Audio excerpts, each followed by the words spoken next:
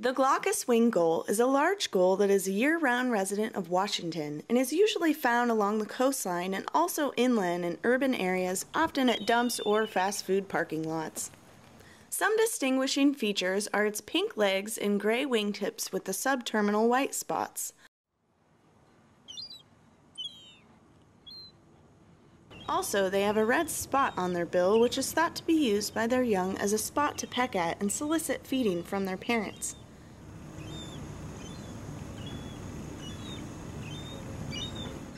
This bird takes four years to reach adult plumage, and the juveniles look similar to the juveniles of other large four-year gulls, and identification between immature gulls can be very tricky.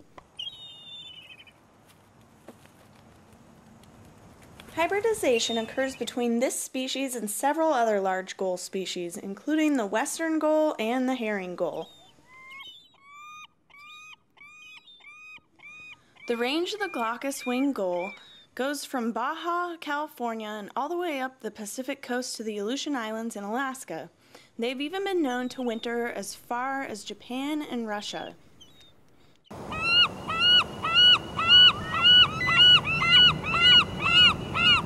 Gulls usually live to be about 10 years old, but have been known to live to up to 30.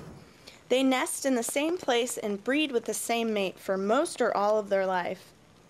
They nest from April to August and have between one and five eggs.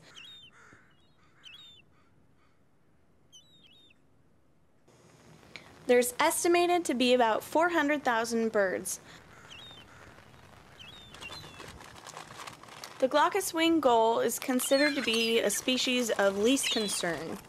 It's not endangered or threatened, and actually it's considered by many to be a nuisance.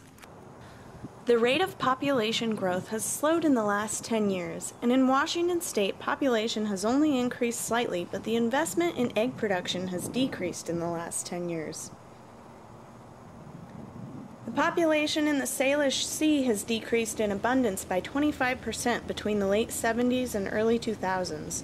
So while population raised significantly in the last century, more recent studies indicate a change and we have yet to identify and understand all the various influences that cause these changes.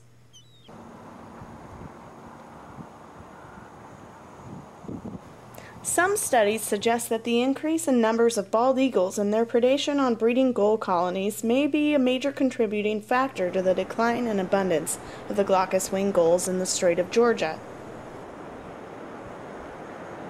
The next 10 years will be a critical time to monitor population trends. For more information on the glaucous winged gull and other species of birds that can be found on the campus of Evergreen State College, go to blogs.evergreen.edu/birds.